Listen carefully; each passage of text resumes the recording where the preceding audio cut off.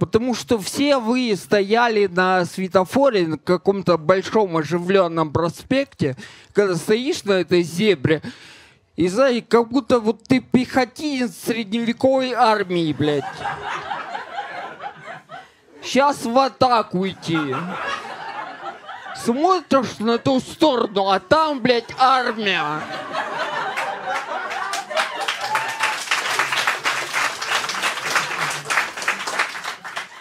По сторонам смотришь, а ты тоже в армии.